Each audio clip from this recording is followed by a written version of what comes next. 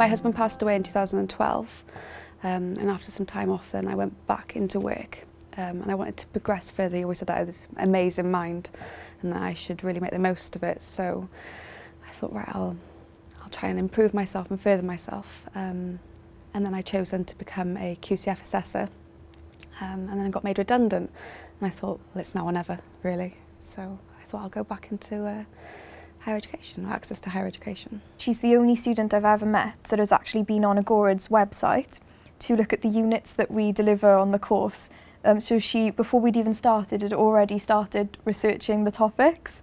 So I immediately thought, oh wow, this, this girl is really committed. I looked for a few colleges um, to see what they offered and the types of um, assessment criteria that were there um, and what I could do after. I've always wanted to, to do nursing and I thought I could either do the bioscience or I could do the access to healthcare and I decided on college to go on the access to healthcare.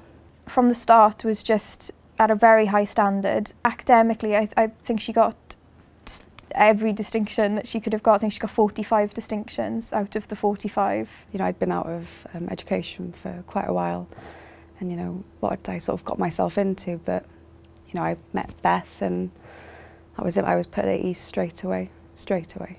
The Agored Cymru Access to Higher Education Diploma is very, very useful.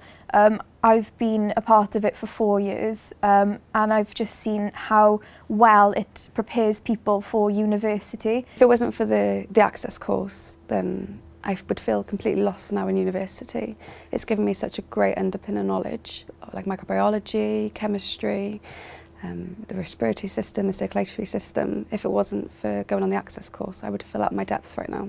I can see her being um, a brilliant, exceptional nurse if she wants to do that, but I think she is so academic that she could go even further than that. And if she wanted to go, you know, on to do um, a master's, PhD, she wanted to go into research, I think she'd be very, very good at that. Her research technique is, is amazing.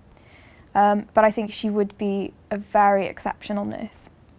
I would like to think that um, in five years' time that I would have completed my nursing degree um, and potentially have gone on to a master's degree.